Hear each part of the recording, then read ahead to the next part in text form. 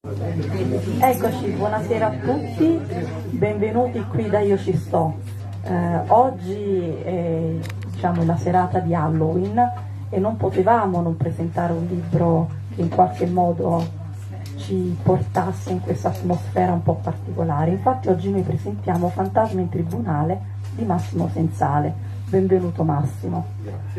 Al mio fianco eh, come relatore Michele Caccese che è un collega di Massimo e avremo anche il piacere di entrare nel vivo di questo libro perché non possiamo solamente discuterne amabilmente, ma secondo me dobbiamo leggerne qualche brano grazie a Maria Sensale. Prima di cominciare, giusto due parole su Io ci sto. Eh, ormai ci conoscete tutti, noi siamo la libreria di tutti, eh, tra un po' festeggiamo i nostri dieci anni nella prossima estate, ma siamo anche un'associazione di promozione sociale da qualche anno infatti il nostro impegno costante e attivo nella città ci ha dato questo privilegio e questo onore. Non vi trattengo raccontandovi tutte le cose che abbiamo fatto e che vorremmo ancora fare, soprattutto col vostro aiuto, perché per poter portare avanti questa realtà un ruolo fondamentale lo hanno i soci. I soci sono l'anima di Io ci sto, eh, sono la mente e il cuore. E proprio per eh, dare la possibilità a tutti di far parte di questa grande comunità, eh, per la prossima campagna associativa daremo la possibilità ai nuovi soci, cioè a coloro che per la prima volta decideranno di associarsi, di pagare la quota di 30 euro invece che 50 euro, che è la quota che da tanti anni ci garantisce di avere lo sconto sempre eh, sui libri, uno sconto che dal 5% è stato innalzato al 10% per tutti i soci, Considerate che le librerie di Catena non lo fanno questo sconto, quindi è un grande impegno che noi prendiamo nei confronti di chi ci dà fiducia.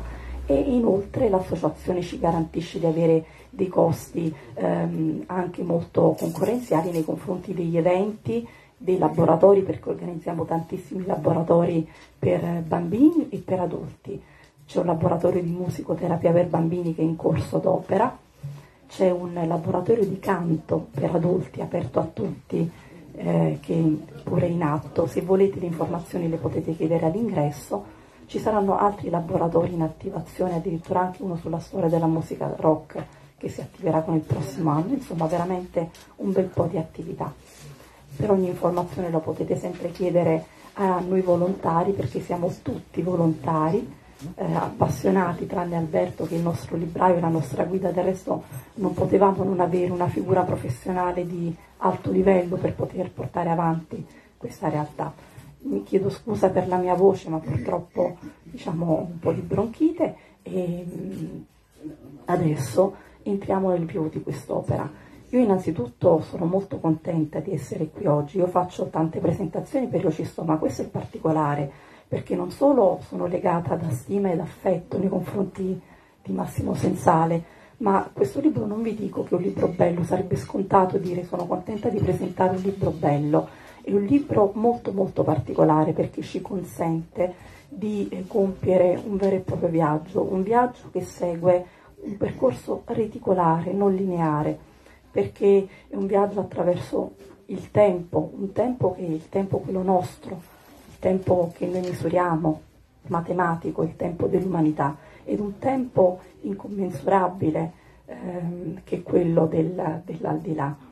Eh, viaggeremo nello spazio perché ehm, attraverso questo libro noi passeremo dall'America all'Europa, all'Italia, alla nostra misteriosa città e poi passeremo da, dal diritto, quindi da, dalle leggi, dai tribunali, infatti Fantasma in tribunale è, è proprio questo il focus, ma passeremo anche attraverso quelle che sono le credenze popolari, il folklore, che poi nella nostra città ci sta benissimo. E quindi ci ho detto, io passo innanzitutto la parola a Massimo.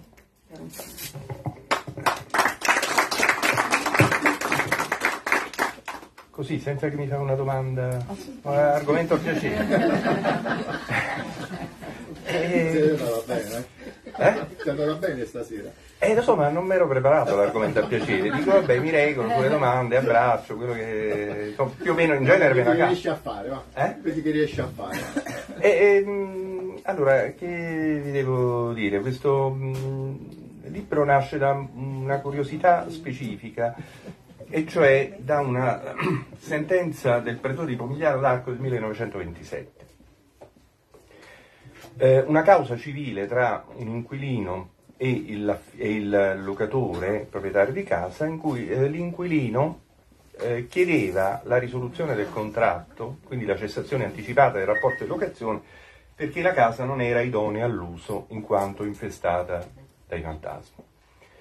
Eh, il eh, locatore naturalmente si era costituito in giudizio, si era difeso, eh, comunque vengono, eh, vengono, ammesse le prove testimoniali, vengono sentiti i testimoni e il pretore dà ragione all'inquilino e dichiara la cessazione del eh, rapporto di locazione. Ora l'interesse, la curiosità relativa a questa, a questa sentenza, che peraltro era annotata aveva una nota di commento a firma di Giovanni Leone, anche se in realtà eh, non, non, eh, era, eh, non, era, lui che l'aveva scritta, l'aveva scritta il padre perché Giovanni Leone all'epoca aveva solo 19 anni, il padre non si poteva firmare perché era l'avvocato della parte vincitrice della causa. La mia curiosità era quella di vedere come le categorie giuridiche che nel 1927 relativamente al, al diritto delle locazioni, ma in genere il diritto civile, non erano molto diverse da quelle attuali,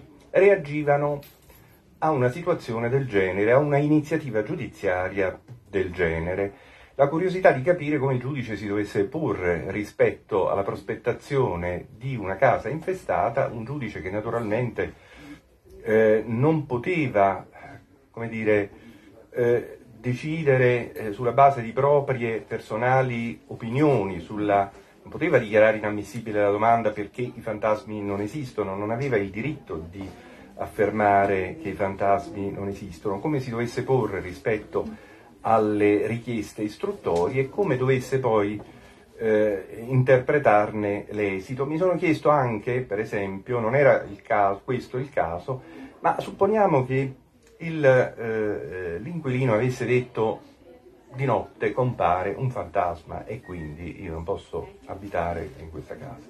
Supponiamo che il locatore convenuto in giudizio avesse detto non che non è vero niente, provamelo che c'è il fantasma, ma eh, io ho immaginato che potesse dire sì è vero, c'è un fantasma di notte, la mia prozia Domitilla, ma è una bravissima persona, non ti preoccupare, non, non rende la casa inidonea all'uso abitativo, è un fantasma assolutamente pacifico, innocuo. E mi sono chiesto, rispetto il giudice, rispetto al principio di non contestazione dei fatti allegati, come si sarebbe dovuto regolare? Eh, l'attore allega un fatto, il convenuto non lo contesta e quasi quasi, io perciò ho voluto Michele Caccese che mi assistesse in questa presentazione, dico avrebbe dovuto ritenerlo provato e regolarsi di conseguenza. Da questa curiosità giuridica poi sono andato alla ricerca di altre, altri casi giudiziari e ne ho trovati veramente tanti. Anzi, devo dirvi, ma non è una minaccia, eh, tanti casi giudiziari sono rimasti fuori da questo libro e io mi riservo di fare un sequel perché ho dovuto fare una selezione, non solo una selezione, ma ho dovuto anche concentrarli in poche, in poche eh, diciamo in capitoli molto brevi, molto variegati, inframmezzati anche da qualche capitolo, eh, diciamo così, autobiografico. Il libro cominciando a leggere il libro, il libro simula di essere un romanzo, finge di essere un romanzo. Poi dopo 4-5 pagine faccio sparire la vicenda romanzesca sotto le digressioni eh, varie, poi riemerge questa, questa, eh, questo romanzo, poi si inabissa di nuovo e, e, e alla fine, gli ultimi righi, si eh, conclude. Mi sono reso conto che scrivere un libro di 200 pagine sui fantasmi, le case infestate, sarebbe risultato noiosissimo e quindi ho cercato di, di eh, raccogliere eh, vicende molto, molto, variegate, molto singolari, eh, di diritto non solo delle locazioni ma di diritto di famiglia. E il nostro Presidente ci onora. Mi fai diventare rosso. e, beh, io sono spontaneo, lo sai, se mi viene un un moto di sorpresa lo, lo, lo manifesto. Quindi poteva venire anche di peggio. sarei stato sincero, diciamo, e quindi ma, insomma sono tranquillo su questo. E ci sono vicende eh, di, di, diritto familiare, eh, relazioni extraconiugali con i fantasmi, divorzi pronunciati per, eh, in casi di questo tipo, insomma c'è una grande varietà di, di situazioni che arrivano fino a un'epoca relativamente recente. L'ultima sentenza napoletana citata è del 1970, ma sono, c'è una sentenza milanese molto molto più recente del XXI secolo. Vabbè, io non so che altro dire, no, delle... A proposito, tu hai detto il libro comincia in un modo, ci dà l'idea di essere un romanzo, poi alla fine non lo è. Vogliamo vedere questo inizio anche perché è singolare, perché comunque eh, ci sono tanti sprazzi in questo libro in cui esce anche il massimo la sua la sua vita, quello che ha visto, quello che ha vissuto in qualche modo relativamente a queste tematiche, no? Giovannino, che Dio l'abbia in gloria, portò in casa nostra l'argomento degli spiriti. Nei fantastici anni sessanta della mia infanzia, la visita dei fratelli Klopp, amici di gioventù di mio padre, era ogni volta una festa. Carlo assumeva pose da intellettuale, dissertava di musica e di lettere e più tardi avremmo scoperto che scriveva poesie in endecasillabi sciolti. Erano versi di foggia antiquata, ma non così scadenti da meritare il dileggio camuffato da serioso apprezzamento degli amici, i quali consideravano Carlo uno spiantato, ma di poesia non capivano un'acca e avrebbero dileggiato anche quelle di Montale se Carlo le avesse spacciate per sue. Giovannino era diverso, un ragazzone burlesco dalle trovate originali e l'ironia spumeggiante. A quell'epoca praticava arti marziali, forse judo, ma non per spirito sportivo, ma come se più più tardi per esigenze di lavoro. Figlio di un valentissimo avvocato, nipote di un deputato, reo a suo dire di non averlo sistemato, Giovannino si arrangiava a fare l'amministratore di condomini, in perdita perché anticipava di tasca sua le spese e i condomini non lo rimborsavano. Per finanziarsi si dedicava anche al recupero crediti nei bassi fondi di Napoli, dove le questioni non si regolavano sempre in punta di codice e le eccezioni più in voga tra i debitori inadempienti suggerivano di prendere per tempo dimestichezza con tecniche di difesa personale. Eppure anche il recupero crediti, come tutto quel che riguardava Giovannino, dava luogo a stravaganze, come quando ci raccontò un debitore irriducibile dall'aspetto trucido lo accolse con in mano un grosso paio di forbici spiantate e gli tagliò la cravatta. Ogni volta Giovannino ci dava dimostrazione delle tecniche di lotta giapponese apprese di recente e io, piccolo e gracile, ero scelto per fare la parte dell'aggressore, che poi veniva spiazzato, sbilanciato, piroettato, capovolto, strapazzato, lanciato più o meno in volo libero, sempre, devo dire, in assoluta sicurezza e con atterraggi morbidi, protetti, sicché l'apnea era dovuta più all'ebbrezza che alla paura. Giovannino ci piaceva perché non era un adulto che si degnava di spupazzare i bimbetti per qualche minuto, ma era a sua volta un eterno bambino che giocava con noi da pari a pari, e poi, come dicevo, tirò fuori il discorso degli spiriti, delle case infestate, che puntualmente andava a verificare di persona, con appostamenti notturni e fede incrollabile, nonostante i risultati deludenti. Ci raccontava, per esempio, che passava delle notti ai piedi di un maniero di Monte Calvario Irpino, Monte Calvo eh, Irpino, scusate, in attesa in attesa di vedere o sentire le presenze di cui si parlava allora negli ambienti dello spiritismo. E per Bacco come altro poteva chiamarsi un lugubre luogo di fantasmi, che mi rimandava alla ridda di streghe e diavoli nella notte di San Giovanni sul Monte Calvo di Mussoschi?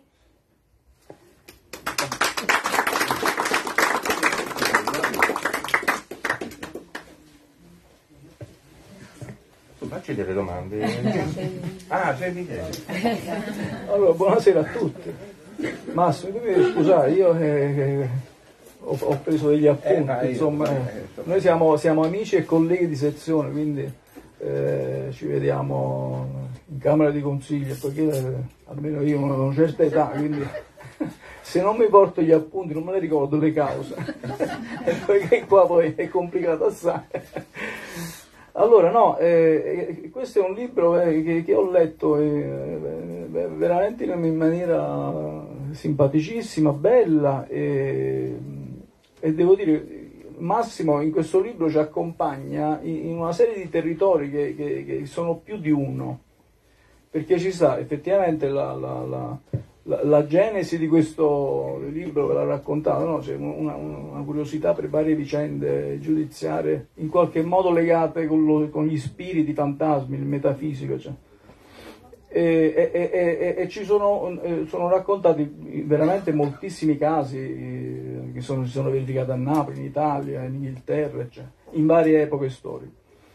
Poi ci stanno le, il, il, il, livello delle, delle, questioni giuridiche, perché poi sono, sì, fanno sorridere, ma, ma, ma, ma comunque sono questioni, eh, poi magari le, affrontiamo un pochino insomma, per quello che, che posso fare io. Insomma.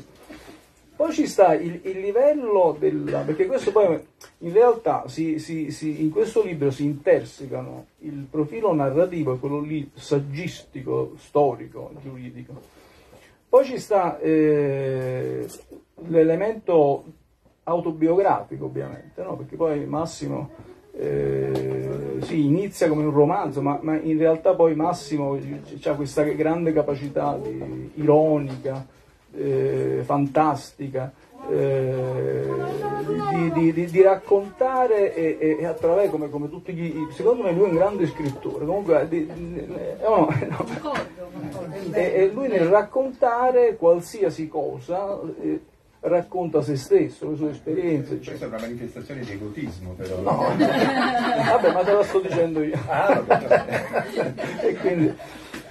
E, e, niente, poi secondo me ci sta una, una, riflessione che attraversa tutto il libro, che è quello lì un po' quella della, della tensione che esiste tra no, il, il, positivismo, il razionalismo e, e, e il mondo del, uh, emotivo e, e il mondo dell'inconscio anche ovviamente, no? perché poi il confine che c'è tra il paranormale e, e l'inconscio spesso è sottilissimo. I, i, I, fatti che lui ha, ha, narrato, queste vicende giudiziarie, sono tantissime, ne seleziono giusto qualcuno chiaramente, che, hanno, che, che a me hanno, hanno colpito di più. Ci sta il caso di, di, di Piazzetta o Largo San Carlo Le Mortelle che, che mi ha colpito moltissimo, anche, anche, perché eh, la vicenda io la conoscevo, infatti ne parlammo una volta, dice ma come, come fai a conoscere? però non mi ricordo neanche perché la conoscevo, però sì, ne avevo letto. Poi al, al civico 7 del, del Largo San Carlo Le Mortelle abita e abitava da sempre un mio amico fraterno, proprio al numero 7. Che, e quindi era un luogo che io frequentavo tantissimo da ragazzo e ancora adesso. E poi appunto c'è la targa di, di, del... Un paio di targhe. Un paio di targhe, il, alta, come si chiama? Altamura. Altamura e poi Domenico Morelli. Ecco, Domenico Morelli. E poi ci sta quel bellissimo riferimento che, che, che, a me ha colpito tanto della citazione del romanzo di Enzo Striano, no? Il resto di niente, perché Eleonora, la protagonista del romanzo De Fonseca Pimentel, abitò lì nel, nel breve periodo di, de, del suo matrimonio sciagurato, insomma, no? perché lei appunto eh, subì un sacco di angherie da questo marito, da questo eh, che era un, un, militare, militare, militare dell'esercito. Dell Però a proposito di, poi devo dire un, una cosa. Un'errata, vabbè, ma non è un'errata corrige. No, no, no, no è un'errata corrige mia. È un, esatto. è un, è, vabbè, però è, potrebbe essere una licenza, una licenza letteraria a monte. Allora ho scoperto, dopo aver pubblicato ma l'avrei pubblicato lo stesso, in un, in un brano, eh, diciamo, virgolettato, quindi una citazione testuale del romanzo di Enzo Striano, Il resto di niente, mm-hmm eh, lui dice che eh, dopo la morte del figlio di Eleonora Pimentel Fonseca, avvenuta nel 1779, il, il, il ragazzino, e la morte del ragazzino, sì. che, eh, lei era ossessionata, andava continuamente al, nella chiesa di San Carlo dove ci sarebbe la tomba di questo bambino, non sono riuscito mai a, a andare a controllare e eh, era ossessionata dalle note del Requiem di Mozart che qualcuno suonava all'organo. Il Requiem di Mozart è stato composto nel 1791, quindi 12 anni dopo questo episodio. E quindi scopri... è un plagio quello di Mozart che già esisteva già esisteva oppure insomma ho scoperto un errore nel romanzo di Enzo Striano insomma mi ha fatto sentire un pochino diciamo gasato. Sì, diciamo, eh, no, infatti anche io mi riservo di andare un'altra volta a vedere se ci sta veramente la tomba di poi la, questa è una chiesa molto bella no? che, che, che, ha subito una chiusura di, di quasi dieci anni perché ci fu, ci sprofondò, che era il 2009 mi pare, una cosa... Eh, e, e, quindi ci vollero parecchi anni per riprenderlo, eccetera, eccetera. Eh, no, eh, io volevo dire a proposito di questo, volevo leggere un, anche io approfitto, rubo un po' la, la scena, no, no, perché eh, nelle, eh, lui parla così, poi un certo che mi è piaciuto tantissimo, voglio dire, nelle mie passeggiate cittadine ora torno spesso a San Carlo alle Mortelle, sperando con una certa apprensione che attraverso una smagliatura del tempo io riesca a captare frammenti delle voci di un mondo antico a intravedere le ombre dei personaggi che vi hanno abitato e patito, o almeno a sentire il profumo delle piante di mirto, perché quello San Carlo alle Mortelle prende il nome dal mirto, eh, che fin dal Cinquecento avevano reso il Poggio sotto la collina di San Martino e a Monte di Chiaia eh, un, lungo ameno, un, lungo, un luogo ameno e ideale per l'edificazione di conventi e appartate ville patrizie. Poi ci sta un'altra cosa, eh, a parte che, che lì c'è questo mio carissimo amico, io abito proprio là vicino, quindi... Eh, è, una cosa che veramente mi ha, mi ha, mi ha colpito molto. Per quanto riguarda ecco, le, le, questioni, un accenno alle questioni giuridiche, no? eh, la, la, sentenza del, del del pretore di Marigliano. Eh, effettivamente credo che sia l'unico caso, almeno di, di, di... L'unico caso in cui la domanda è stata accolta. Esattamente. Eh, esatto, ci sono dei precedenti in cui la domanda era stata rigettata. Sempre rigettata, esatto, in qualunque modo, in qualsiasi modo si arrivava sì, sì, sì. In questo caso forse eh, la, la, causa è nobilitata da, da, da tale patrocinio, insomma, no? eh, arrivò insomma, all'accoglimento. La cosa che mi ha, che mi ha, mi ha colpito è che, che, che, il pretore riformulò i capitoli di Pro. Perché erano generici. Perché erano troppo generici, troppo generici. Cosa che non, non, si potrebbe fare. Io qualche volta pure li riformulavo, mi annoio questo, però poi la Cassazione ha detto che, che non si può fare. Non si può fare. Eh, no, no, no, no, Allora, ecco, cioè che... Eh, cioè quando eh, in giudizio bisogna eh, dimostrare un fatto eh, no, che, che, è determinante ai fini del buon esito della causa, bisogna provare provarlo. E la prova nel diritto civile, nel processo civile, si deve articolare in maniera specifica. La prova testimoniale. La prova testimoniale per, per, capi specifici. E ovviamente la prova deve, deve avere ad oggetto non, non valutazioni, giudizi, suggestioni, eh, ma fatti. Allora, evidentemente, questa prova era abbastanza generica. Il, il pretore la riformulò probabilmente effettivamente anche all'esito della riformulazione rimaneva generica, però probabilmente lui se la riformulò poi nella prospettiva di, di, di poterla accogliere questa domanda, insomma, no? credo. E, e, poi appunto questa, questa, eh, questa vicenda eh, fu, fu, fu, resa nota anche perché Giovanni Leone, o il padre, ma per, però eh, scusa, come Paganini, no Paganini, scusami, eh, il, il nostro Accardo, pare che lui sapesse suonare sin da piccolo, cioè sin da 3-4 anni. Dai. in maniera sia pure molto sì ma lo stile di quella però. Leone poi non l'ho letta eh, la, la, la, cosa di Leone probabilmente era un genio precoce no vabbè il padre no. l'avvocato gli era scritto lui lo, scritto lo stile di quel commento è molto eh, che manco Guirino come si chiama? Ah, neanche Guirino. Manco, oh, manco lui ci arriverebbe, insomma, è, è un'enfasi eh, molto antiquata, molto, scientistica.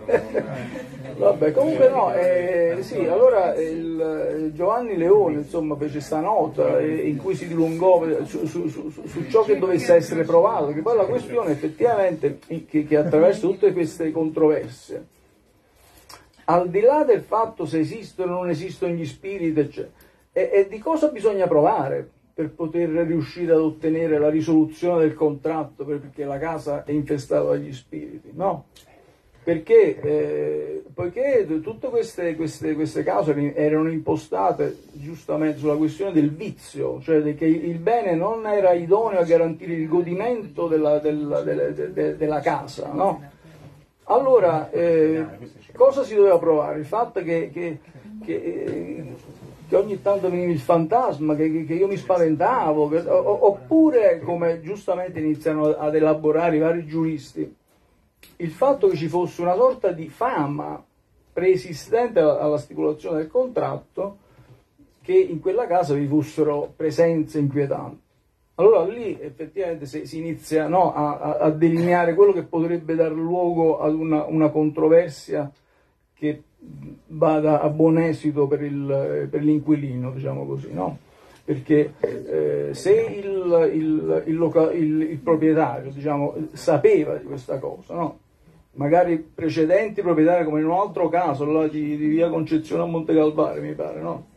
un, precedente conduttore se, eh, se n'era andato proprio per questa ragione, allora è chiaro qua si entra in un territorio effettivamente più di maggiore consistenza, il caso del subaffitto. Eh. Certo poi a, a, a, a, monte di tutte queste questioni ci, ci sta pure quell'altra questione che, che pure fu trattata, no? eh, cioè de, de, de, delle due concezioni dello, della, della presenza metafisica di fantasmi cioè quella dello spiritismo e quella del, del, medianismo, perché lo spiritismo è legato a una, certa, una sorta di, di, elemento di re, realtà della casa, no? nel senso che gli spiriti sono coloro che hanno abitato nel passato in quella casa e che in quella casa vogliono continuare a stare. No? Invece la, la, la, teoria del medianismo attiene invece a che cosa? Al fatto che i, le, le, presenze ultraterrene sono attratte dal, dal, dal, fatto che nella casa vi, vi, sia qualcuno che è dedito per esempio alle sedute spiritiche. Allora qua che, che c'entra il locatore? no, non potrebbe rispondere. Ce l'hai portati tu. Ce l'hai portati tu, esatto. È, quella, è quella. e questa è un po' la cosa che si agita dietro. Una parentesi. Una parentesi. Non mi fate impressionare dal tono troppo serio di Michele Gaccese. Cioè, non pensate che io credo a tutte queste baggianate, eh? perché da come ne parla lui, sembra che io veramente ho scritto credendo che, siano, che abbiano un fondamento. No, sono tutte stupidate. Vabbè, no. Però il suo tono potrebbe io, io, io invece apro un'altra parentesi, apro un'altra parentesi, e che ne sappiamo che lui veramente non ci crede? No, no, io. Non lo sappiamo. Ah, sì, no, io questo lo scritto. Ma non dirmi che non hai mai fatto una seduta spiritica. Sì, no, è come, è come, no. Ho messo grande, ho detto non avrei scritto questo libro se non avessi prima fatto una seduta spiritica. A proposito del fatto che io credo o non credo no, no, no, questo è irrilevante. No, no, no, non è irrilevante. Allora, la domanda non è se i fantasmi esistono o non esistono. Il libro dà per scontato che i fantasmi esistono e, e io ci credo. Il vero problema è dove abitano i fantasmi. E ci sono varie teorie su dove abitano i fantasmi. A me sembra quella più attendibile è quella di Freud e dei suoi seguaci. I fantasmi abitano qua, ma che esistono non c'è dubbio. Sono d'accordo. No, Sei d'accordo? No, eh, Posso dire una cosa? Sì. Allora, in effetti stiamo parlando di giurisprudenza, di diritto, eh, in maniera molto, come dire, competente, tecnica. tecnica, però io vorrei tranquillizzare tutti no. i non addetti ai lavori, compresa me, che Massimo ha la capacità di parlare di questi argomenti in una maniera talmente con un linguaggio pulito, sfrondato, che chiunque di noi può entrare e capire la razza delle cose. Infatti a proposito, parlando di questo eh, conflitto tra la prova, quindi tra qualcosa di obiettivo e qualcosa che invece obiettivo non è, come possono essere le credenze, qualcosa di non dimostrabile, Massimo ci conduce su un terreno molto importante che è quello del rapporto tra ragione e sentimento e affrontato dal punto di vista di chi è investito del potere di giudicare, secondo me è una cosa straordinaria. Infatti a un certo punto lui parla di eh, sentimento e eh, sentenza, sentenza. e quindi se magari ci vuole spiegare un attimo ho fatto tanta fatica a scriverlo che poi a dirlo a voce. No perché per chi non lo sa secondo me vogliamo leggerlo perché è bellissimo. è secondo me previsto e vogliamo leggerlo. Si chiama quello che si capisce però se non si capisce. Faremo vedere eh, sì, sì, sì. ah il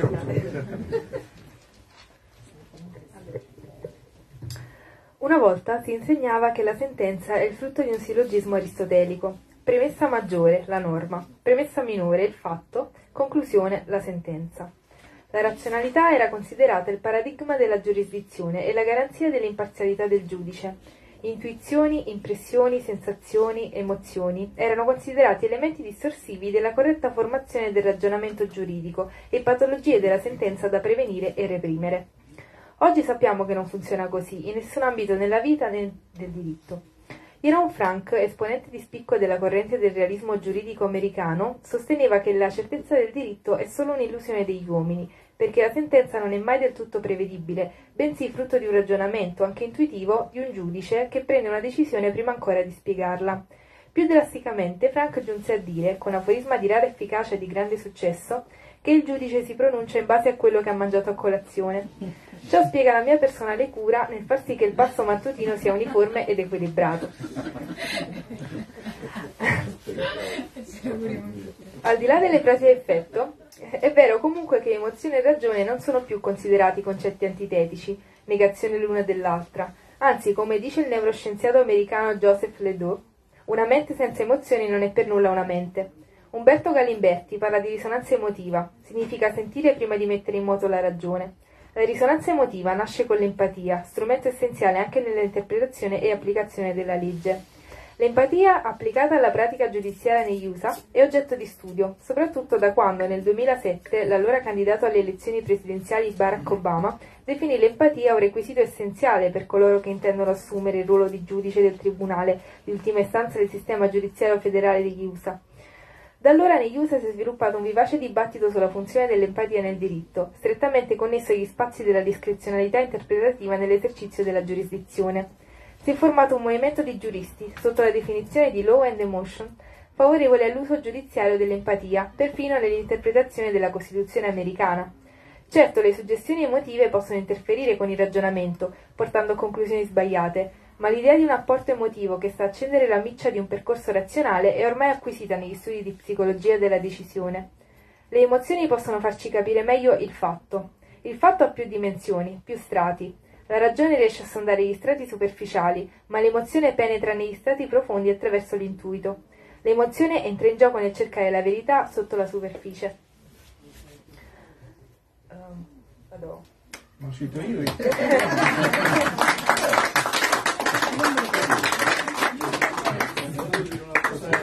È, questo passo è bellissimo no? perché io all'inizio dicevo che eh, uno dei, dei, dei, degli aspetti di questo libro è proprio questa tensione che esiste tra il razionalismo e, e ciò che è al di sotto no? della sfera presunta razionale e, e, e, Massimo, che poi io, io, per come ho avuto modo di conoscerlo, lo, lo, manifesta proprio quotidianamente questo, veramente per me è stata una grande scoperta. Perché... No, di solito lo manifesto il martedì.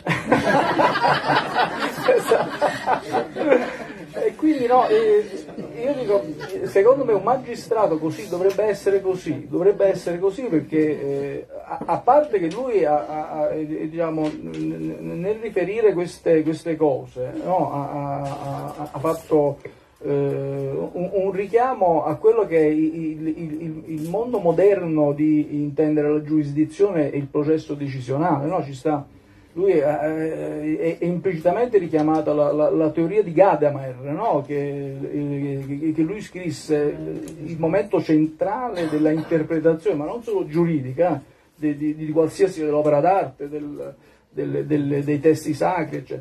e, e, nel senso che colui che interpreta attribuisce elementi di realtà all'oggetto dell'interpretazione, e questo vale ovviamente anche per, per la, e soprattutto per per il mondo della, della giurisdizione, anzi poi ci sono state vabbè, delle derive di, di, pazzesche che sono state da parte di giuristi americani sulla base di tesi di Derrida, cioè, cioè le cosiddette teorie decostruzioniste, insomma, vabbè, ma, ma questo non, non, ci riguarda. Però effettivamente la cosa straordinaria è proprio questa, ma io eh, dovrei leggere forse anche un, un, un piccolo, eh, devo rubare il mestiere a, a Maria, eh, perché effettivamente quando Massimo parla di Giovannino Klopp, no? che era questo personaggio, una specie di, so, di, di guitto, insomma, no? io me lo immagino così, una cosa... No, eh, sì, era bizzarro. Molto bizzarro. A un certo punto Massimo, eh, che poi all'epoca era adolescente, immagino, no? che te non, Eh, beh, otto, eh, nove vabbè, anni, insomma, cioè, all'inizio. È stata una diciamo, frequentazione eh, molti anni, certo. molto, molto lunga, diciamo, fino alla sua morte. Diciamo. oltre, oltre no, per quanto ci avesse promesso di, di continuare anche dopo, visto che aveva una fede così incrollabile sui fantasmi, dice vabbè, dopo, dopo vienici a trovare ugualmente. Ma non si è fatto A me ha molto colpito questa cosa. Eh, Massimo, con riguardo a Giovannino, dice così: Non potevo capire allora che la passione per gli spiriti, per un altro mondo, sia pure di tenebre, era per Giovannino una fuga inquieta dalla realtà, che già a quei tempi non doveva apparirgli benevola. E poi, riferendosi a se stesso, dice una cosa secondo me bellissima. Il fatto che anch'io presi interesse è di una ironia, autoironia che, che è quello che lo caratterizza. Il fatto che anch'io presi interesse agli spiriti, me lo spiego oggi, più o meno alla stessa maniera. Perché la mia indole nuvolosa e la mancanza di talento per la vita mi avrebbero sospinto negli anni a venire verso mondi immaginari, messi insieme assemblando a modo mio il materiale che andavo raccogliendo disordinatamente, cioè una cosa straordinaria, secondo me straordinaria. E poi anche il, il- finale, no? perché poi alla fine, perché eh, questo, questo- questo personaggio poi indusse a fare delle sedute spirite col bicchiere a casa, no? Sì, insomma sì, varie sì. volte, tu curavi, Massimo curava Forse c'è anche... stato pure qualche Sì, volta. sì, sì. Loro Qualcuno sono, ah, diciamo, ci sta. i miei compagni di scuola. Ah, quindi erano sedute allargate. 50 Ah, anni. bene, Eh, ah, sì, sì. sì. E, e- e devo dire che eh, anche a me capita, a casa mia pure si, facevano queste cose, mia mamma era molto sedita, cose, che, eh, e vabbè no, e poi eh, diciamo, le sedute, è, è chiaro che quello era tutto un fatto inconscio, perché nessuno si metteva là a, a muovere, si vedeva chiaramente che il dito muoveva il un bicchiere, però ma non era un fatto volusivo, pure, pure io rimanevo, dicevo, ma com'è possibile? Che, che- che- che- che cosa facciamo? Vabbè. Comunque poi a un certo punto, sì, eh, a quanto ho potuto capire, questo Giovannino veniva meno, cioè, sì, no, no, veniva- sì, venivano meno tutti gli altri, si metteva solo lui da solo a fare le domande e a È una fare... delle letture previste questo no. E allora le Va bene. direttamente così. E poi alla fine, e non vi leggo Eh, giusto sta cosa, no, solo sta cosa, no, è, è perché vedi,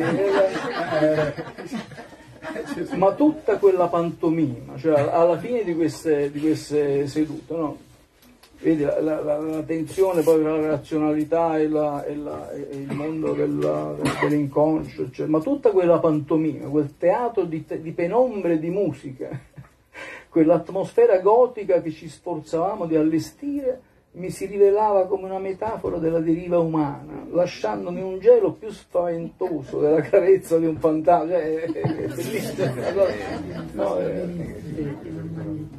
Cui sono stato un poco melodrammatico. eh, vabbè, però, Dico, il libro deve andare bene per tutti, ognuno deve trovare la che sua. lamposa, io non, parte non ho finito di leggere il libro. Non è ancora finito. No, no. E quindi questa parte eh, non me lo leggo stasera. Eh, no, è una cosa un po' è un che spaventosa. deve eh, andare bene per ognuno ci deve trovare. Fino a questo momento ho riso. Ah, eh no, ma- Io mi sono pure appropriato di un, tuo pers- un personaggio di un tuo romanzo. Ah, sì? Ah. No, no, Sen- però sen- è una citazione. senza Sono dire. onorato della citazione. Che poi anche io Era eh, il fa- il- scritto questa cosa. Eh, il fantasma del conte Trampetti, che aveva questa particolarità, che eh, nella vita la moglie l'aveva talmente annoiato che lui, re- rimasto da fantasma nella casa, invece di tirare, trascinare catene, sbadigliava. Quindi la sua presenza era segnalata negli sbadigli. Era un fantasma molto delicato, molto educato. Sì, eh, beh, educato, ma insomma, senza la moglie, non la vedo, ma non poteva La fare moglie è noiosa e Eh, eh. oppure il marito, insomma, dipende. Vabbè, ma voglio dire, un fantasma che ha continuato a sbadigliare anche Sì, sì, nell'oltretomba. infatti, perché è chiaro, tu con quello che i catene, chi muove i cultivi, Eh. E lui sbadigliava. Eh. Allora, che dobbiamo fare? Eh, no, non mi avete dato una scaletta. Dammi il brano. Poi leggi un po' come- Eh sì, il bicchiere perché Sandro qualche volta ha partecipato e se lo ricorda. Vediamo se. Andiamo al bicchiere. Bicchiere? Eh, Andiamo a bicchiere. I fratelli Klopp venivano a casa soprattutto a praticare il gioco del bicchiere. Così come qualcuno che non ricordo ce l'aveva insegnato e denominato. Un nome banale si è associato alla comunicazione con l'oltretomba, tant'è vero che altri lo definivano telescrittura, ossia scrittura a distanza. La distanza tra lo spirito comunicante, allocato chissà dove, e il bicchierino capovolto su un tavolo dalla superficie liscia e scorrevole. Intorno al bicchiere erano sistemati in cerchio tanti tasselli o bigliettini, su ciascuno dei quali era stampillata una lettera dell'alfabeto, più un sì e un no, nel caso in cui l'intervista allo spirito prendesse la piega delle domande a risposta secca. Sul bicchiere rovesciato, ciascuno poggiava leggermente il dito indice e a un certo punto il bicchiere cominciava a muoversi, avvicinandosi ora all'una, ora all'altra lettera per, completare il suo discorso, per completare il suo discorso. Ebbi modo di riflettere a lungo sul fenomeno e ancora oggi sono convinto che tutti i partecipanti fossero in buona fede. È chiaro che il movimento era impresso meccanicamente dalle dita, togliendo le quali il bicchiere all'istante si fermava, ma la spinta meccanica era involontaria, inconsapevole, incontrollabile, altrimenti i risultati non sarebbero stati negli anni così deludenti, quasi inutili, quasi nulli. Se qualcuno fosse stato in malafede, avremmo di sicuro parlato con Socrate o Cicerone, o meglio ancora con qualche nostro antenato. Uh, si studiavano accorgimenti e rituali, come dopo in questi casi, la posizione reciproca dei partecipanti, i tagli di luce, infine la musica di sottofondo. Mi incaricavo io di attingere dal nostro immenso repertorio di vinili e, ne, eh, e nastri registrati, prepara- preparavo le scalette come un disc jockey dell'occulto, valutando di volta in volta quali musiche potessero creare la giusta atmosfera e la migliore sintonia tra le nostre menti ansiose di captare segnali intellegibili da un mondo sconosciuto e chi da quel mondo volesse comunicare con noi. Andava forte la musica dodecafonica, benché nessuno di noi avesse mai riflettuto sul perché gli spiriti, ammesso che fossero ancora muniti del senso dell'udito, dovessero preferire la scala cromatica e le dissonanze. Ancora non avevo letto, o divorato, come sarebbe accaduto sul volgere dei vent'anni, il Dr. Faustus di Thomas Mann e, vicende, e la vicenda tenebrosa del compositore Adrian Leverkühn. Il mio era diventato un divertimento a sé, collaterale, alternativo alla consueta immersione solitaria e generalmente notturna nell'universo musicale. Era un'esperienza nuova, un ascolto condiviso in un contesto di penombre, fumo di pipa e silenzi assorti. Inutile dire che in cima alla hit parade c'era sempre La notte trasfigurata per sestetto d'archi di Schoenberg, versione 1899. La mia musica, da allora a oggi, la mia radiografia musicale, consonante ai fantasmi della mia psiche. Ma il bicchiere incespicava, balbettava. Alla fine compresi che, se musica doveva esserci, bisognava puntare sulle onde Martenot. Com'è possibile non averci pensato prima? Che producono suoni e melodie di speciale affinità con il mondo delle ombre e dei misteri metafisici. Ma fu tutto inutile. Il più deluso dei reiterati insuccessi del bicchiere era proprio Giovannino Klopp, la cui fede nelle comunicazioni con i defunti era incrollabile. Ben presto scoprì che per far muovere il bicchiere non era necessaria la molteplicità delle dita, la catena. Quando restava solo il suo dito, il bicchiere andava più veloce e più determinato verso le lettere. Era così veloce che non riuscivamo a decifrare le parole.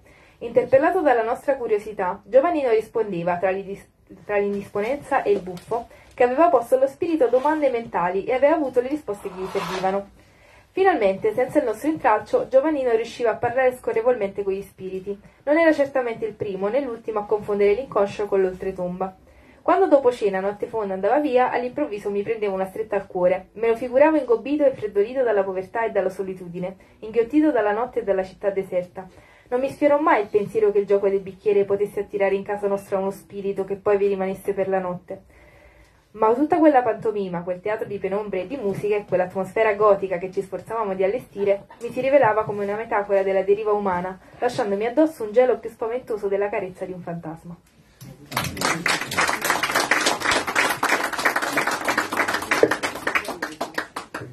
Devo parlare io? Ma insomma questa, questa, questa, presentazione ha preso un tono troppo serio. sì. Ah, se devo parlare più forte. Un, un, tono troppo serio. In realtà poi il libro, grazie a Dio, è pieno di episodi, diciamo così, più pittoreschi, leggeri, come quello dei, eh, della moglie del dentista che nel 1940, un dentista eh, marito e moglie frequentano un gruppo di, di, di sedute spiritiche no?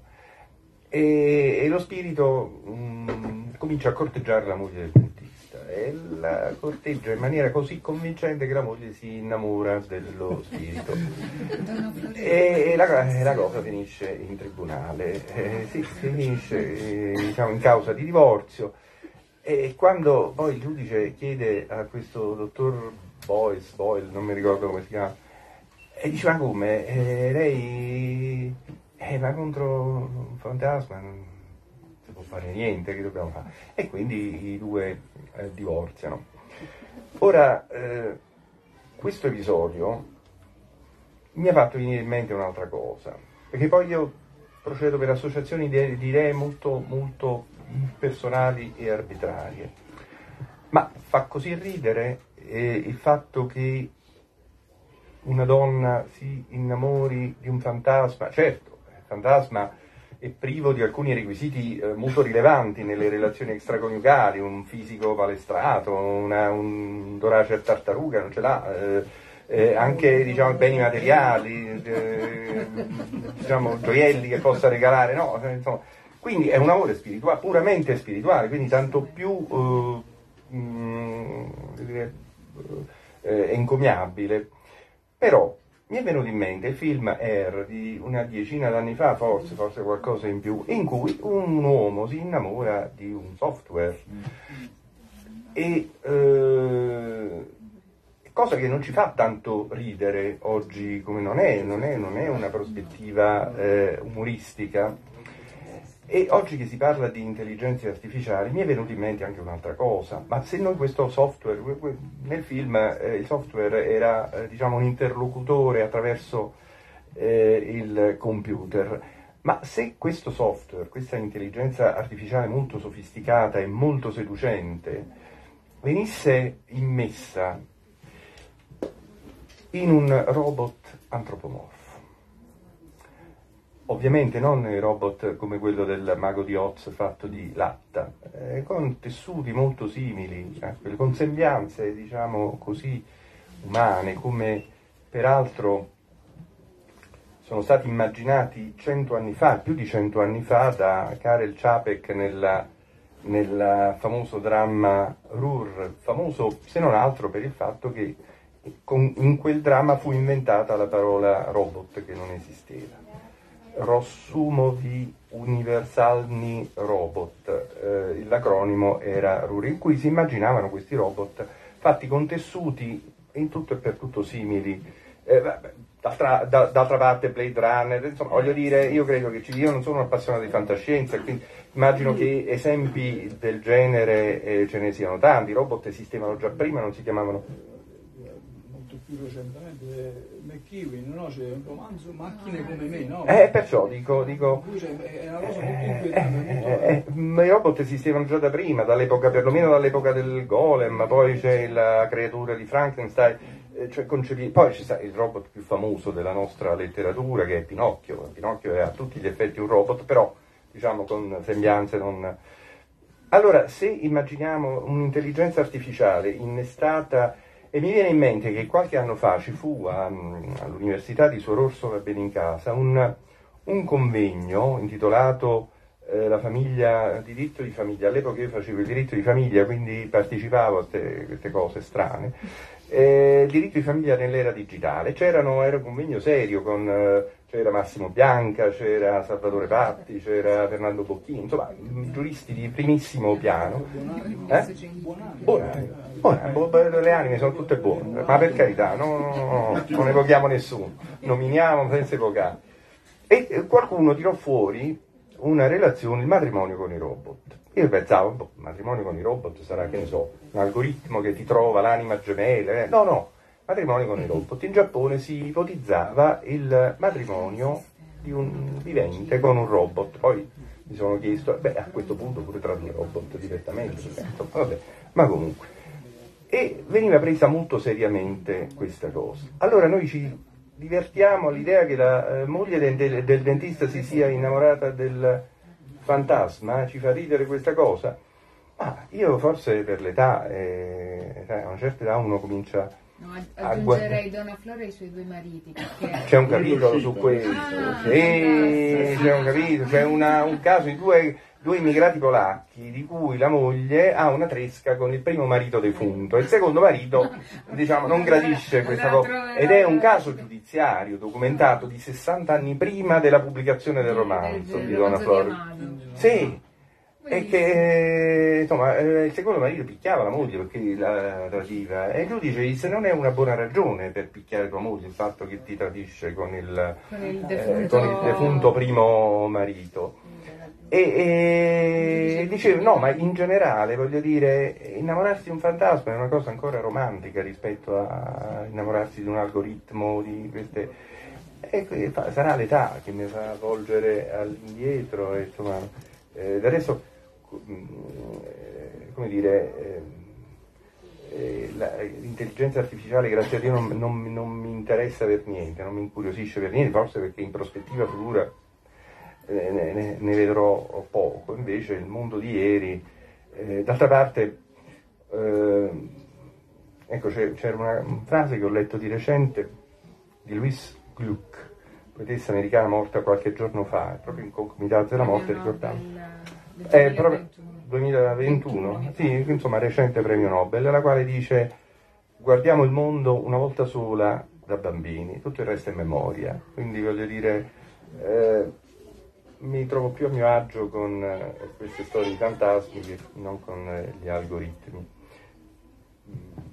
È pur vero che appunto tutto quello che avete detto ci fa capire come questo libro, al di là delle questioni, delle storie, ci dà tantissime suggestioni e quella appunto dell'intelligenza artificiale che in qualche modo è una suggestione è molto importante perché ci porta a riflettere su temi eh, quelli do- dell'identità, il tema di, di una realtà altra che può in qualche modo riprodurre quello che è l'umano sentire e quindi si potrebbero aprire squarci molto grandi su, questo, su tutto questo ed è anche molto moderno. Però proprio a proposito delle suggestioni che questo libro ci dà, suggestioni che tra l'altro poi dopo ci danno la possibilità di approfondirle perché alla fine ha una ricchissima bibliografia, una bibliografia eh, di testi giuridici, eh, di testi appunto dedicati allo spiritismo, quindi veramente ci dà modo innanzitutto è la bibliografia che supporta la quantità di informazioni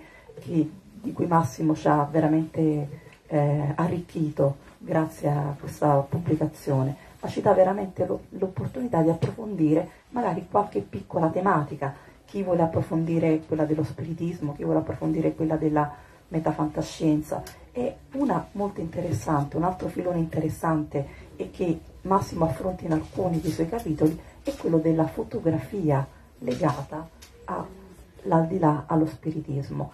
Anche lì ci sono dei casi che sono andati in tribunale e, e attraverso questi casi Massimo ci racconta anche un po' di fatti tecnici, di come avvenivano queste stampe. Allora, la- il- tra i vari, eh, si era agli inizi della fotografia, fotografia fatta con le lastre, e eh, il trucco era molto semplice, si, si- si preparava, si predisponeva la lastra con delle immagini e poi dopo con quella lastra predisposta si faceva eh, la fotografia alle persone che vedevano poi in quelle ombre che erano state preparate in precedenza i propri antenati i propri familiari eh, defunti.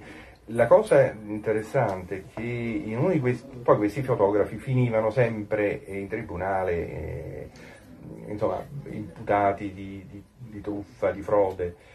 E, e il caso che la dice lunga sulla, sulla, diciamo, sul- sulla- sull'idea che si arriva dei, dei fantasmi, che uno di questi fotografi, un fotografo francese, confessa in giudizio, dice sì, eh, è, tutto, è tutta una truffa. Io preparavo le lastre così e colì, poi facevo credere, avevo de- dei modelli, delle modelle che si prestavano. Io prima mi facevo descrivere le sembianze dei familiari defunti, dei miei clienti, per poterle un poco... Poi preparavo eh, queste lastre, facevo la fotografia e i miei clienti erano convinti di vedere dietro di loro, loro seduti, dietro le loro spalle, magari con una mano poggiata sulla spalla protettiva, i loro antenati. Questo confessò, fu condannato, poi eh, andò, diciamo, espatriò. eh.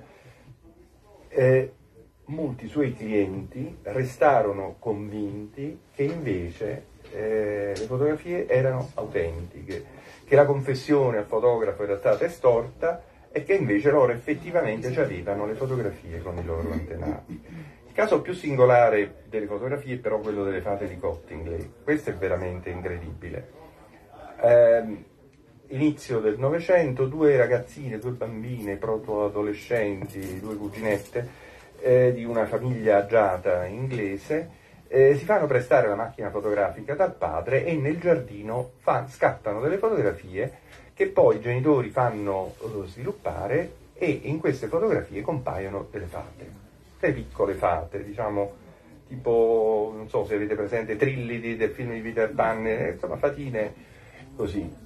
E dopodiché sottopone i genitori, sottopongono queste fotografie al solito circolo eh, di, di spiritisti e tutti restano sorpresi, allibiti, ma naturalmente a loro mica la si fa. Sottopongono queste fotografie a accuratissimi studi per vedere se erano manipolate, se c'era la doppia esposizione e insomma tutti i controlli, eh, le fotografie risultano autentiche, non c'è nessuna doppia esposizione, nessuna manipolazione precedente, successiva, sono assolutamente autentiche e chi si interessa molto di questa vicenda è Arthur Conan Doyle che era eh, un convinto spiritista, nonostante che Sherlock Holmes sia eh, un razionalista assoluto, e il suo autore era l'esatto contrario.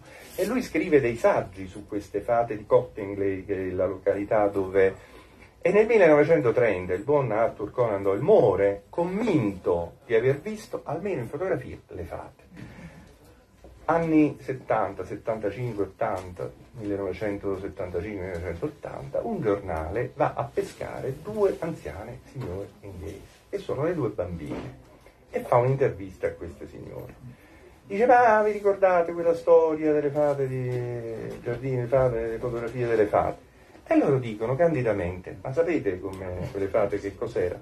Noi da un libro le avevamo ritagliate avevamo messo dei sostegni, dei legnetti di sostegno, le avevamo collocate nel giardino, come oggi farebbero con le Barbie, voglio dire, e abbiamo fatto queste fotografie. Cioè, a distanza di decenni, dopo specialisti che si erano occupati di questa cosa, esce fuori la verità, che è veramente...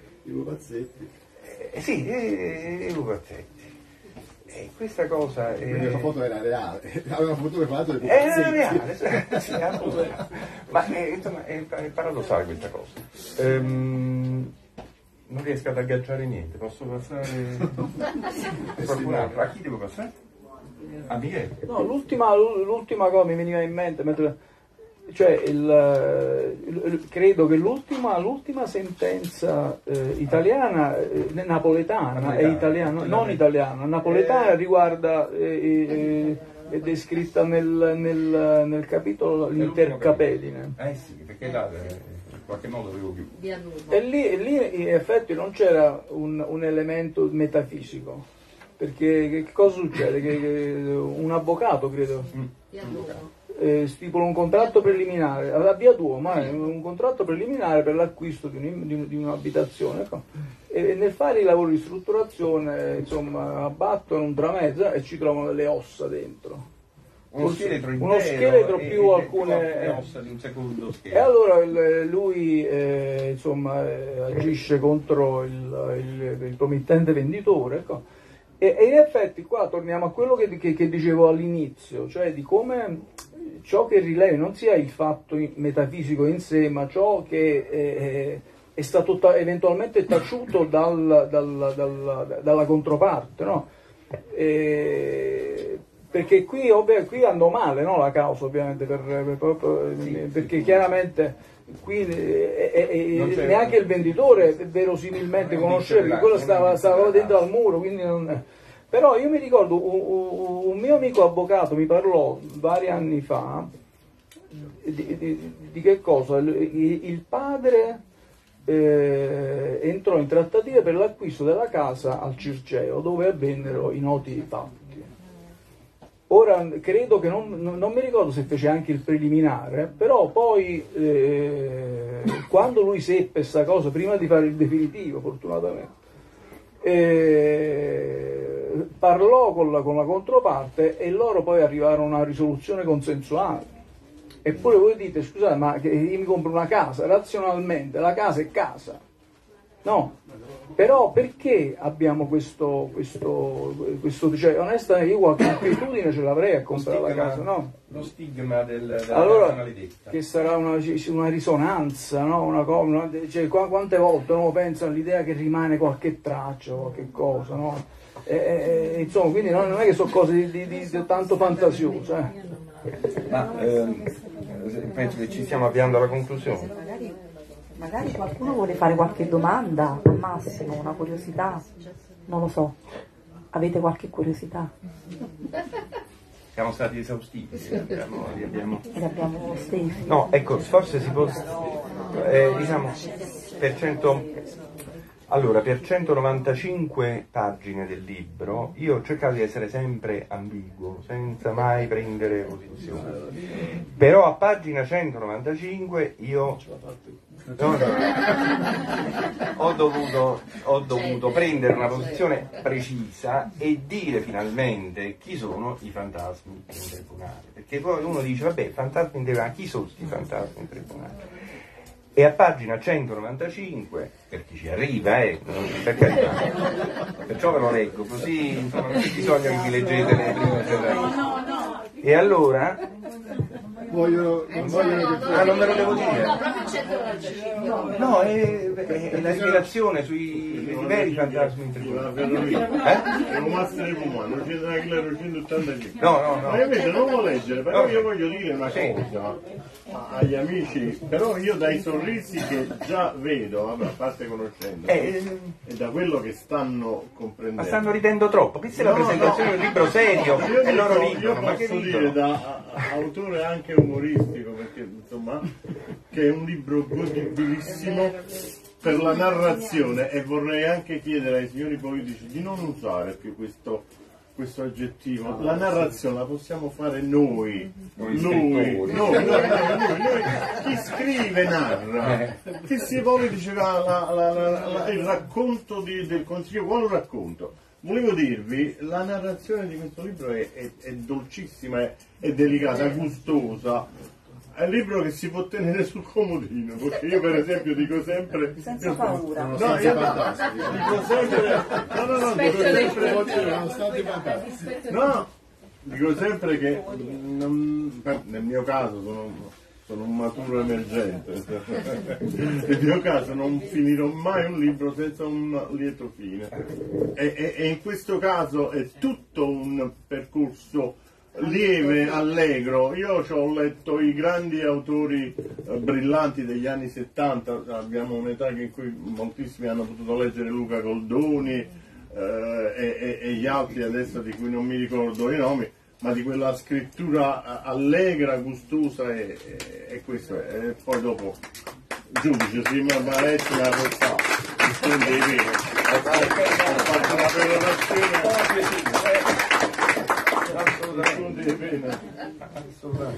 Va bene, allora io vi ringrazio, ringrazio Massimo, ringrazio Michele, ringrazio Maria, ringrazio tutti voi perché veramente vedervi sorridere, vedervi partecipare con, con empatia e secondo me è il grande successo di quello che abbiamo fatto stasera, grazie.